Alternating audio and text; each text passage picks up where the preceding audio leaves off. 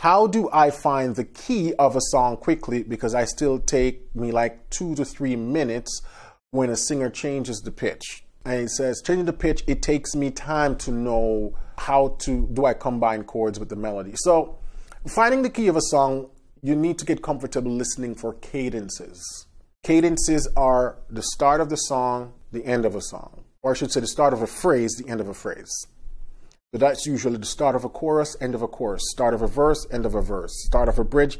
Anywhere there's a start and sort of conclusion, those are cadential spots. That's when the singer is on the one, most likely. And if you can listen for those spots, it helps, it narrow things down. Now, sometimes cadences happen in the middle of a song, right? So it's not just at the end. So you're basically listening for when the song gets to the one. You want to be able to train, and this is something you can practice right here on YouTube. Just pull up random songs and try to hear the cadence. Now, an example of a cadence would be, um, let's take Amazing Grace. Amazing Grace, how sweet the sound. That's a cadence. I'm on the one. So you want to listen to it, it come to that part. Sound, what is a note? So it's on the five. So sound, you need to build a chord around that.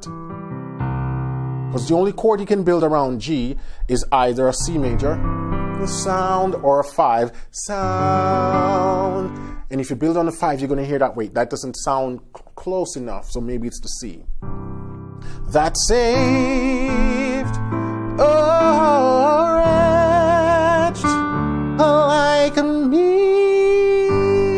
That's another cadence, and they're on the five. So cadences are happening at the end of phrases. That's what we call a phrase, almost like a, a musical sentence, basically. Wherever a sentence would end with a period, most time that coincides also with a phrase. So when you're trying to find a key, you're listening for these spots and you're figuring out what note the singer is on at that point, and you build a chord around that. And you're going to find that 90% of the time, 95% of the times, you nailed it right out the gate with that. Now, like I said, this is a skill you can work on. Pull up random songs on YouTube every day and just try to find a key till you get better at hearing that key center. And as you get better, you'll find that you won't even have to wait for a cadence to be able to find a key. You're going to be able to hear that key center and you can just pick it out on the keyboard.